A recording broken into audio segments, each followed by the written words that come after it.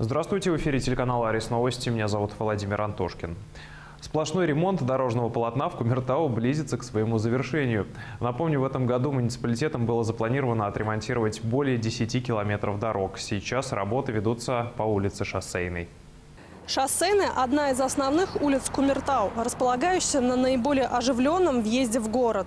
Поэтому она, можно сказать, формирует первое и немаловажное впечатление о городском дорожном хозяйстве. Кроме того, ее протяженность составляет более 4 километров, и в этом году планируется заасфальтировать этот участок полностью.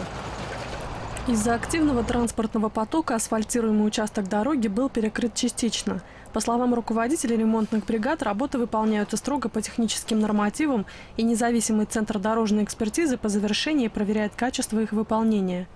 Вместе с тем проделанный ремонт могут оценить и неофициальные эксперты, городские автолюбители. Здесь вот хорошие дороги, да. Я ничего не скажу. А там уже вот в Питках, перед мостом, спускаешься с горы, когда уже сразу волны все. Это же вы- выбьет дорогу.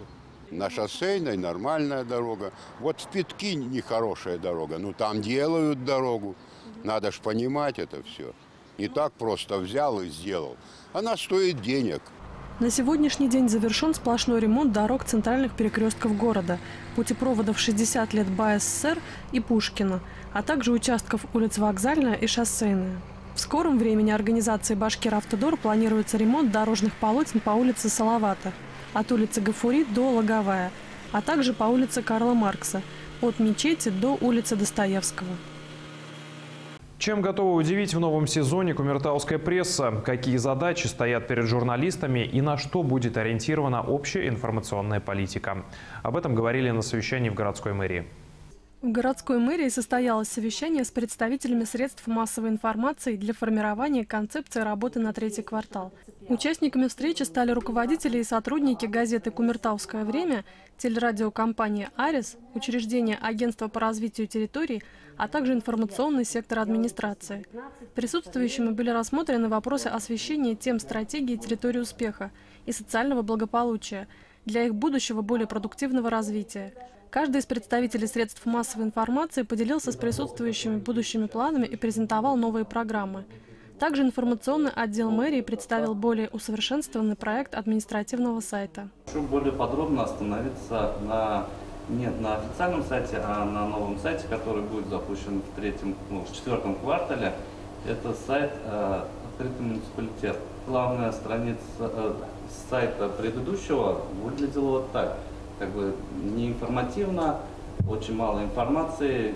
Так как в скором времени ожидается присвоение городу статуса территории опережающего социально-экономического развития, основной задачей городских СМИ муниципалитетом было определено создание новых интересных проектов, привлекающих внимание инвесторов к городу.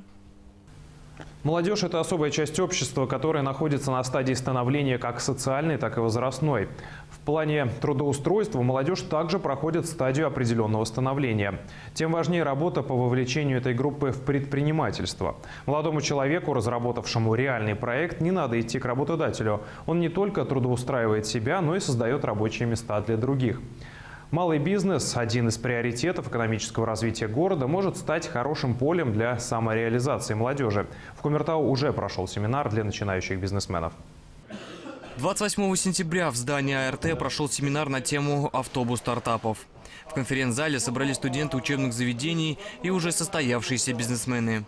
Данный проект начался еще в прошлом году, и за это время семинары для начинающих бизнесменов состоялись в ряде городов республики. Основная цель данного семинара – популяризация предпринимательства. Наша задача – это подсказать э, начинающим, желающим предпринимателям, то есть либо те, кто уже начали заниматься, но еще, скажем, не уверены в своих силах, либо еще только те, кто планирует заняться деятельностью предпринимательской, э, подсказать, э, то есть как правильно развивать свой бизнес, как его правильно выстраивать. То есть, соответственно, те вопросы, которые мы сегодня будем, вот, э, в- ну, соответственно, рассматривать, это все, что связано с, с, скажем, с основами бизнеса. Мы сегодня будем говорить именно о тех преградах, которые могут столкнуться молодые предприниматели, как можно преодолеть эти преграды. А, как можно выбирать нишу, именно в которой можно развивать свой бизнес, как э, быть полезным для своих будущих потребителей. А, В частности, будем говорить э, о тех методах продвижения. А, Одним из методов продвижения это госзакупки. Ну и я в том числе расскажу как раз немного о маркетинге, о методах продвижения своей продукции и услуг.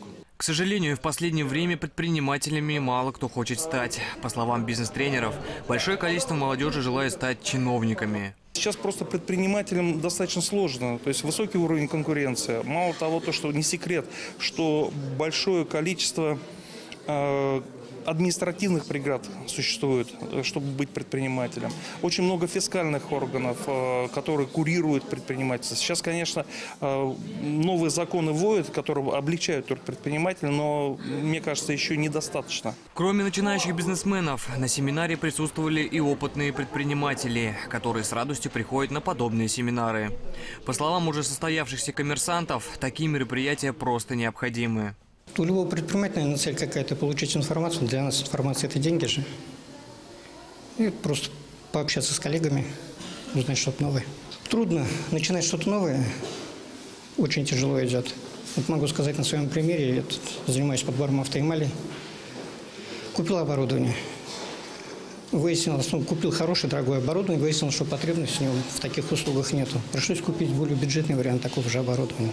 Сейчас вот работаем работы выявил потребность в других услугах. Но опять, если это хорошо развито в Уфе, то вот часто бываю в Казани, в Оренбурге, у нас народ пассивен. То есть тяжело что-то начинать, и вот поэтому многих, наверное, руки опускаются. Проект «Автобус стартапов» продлится два дня. Во второй день занятия приедет обучающий центр, который очень подробно расскажет о развитии и расширении сбыта, продвижения продукции. Константин Меркушев, Сергей Николаев, телекомпания «Арис». Это была последняя информация выпуска. Я с вами прощаюсь. Всего доброго.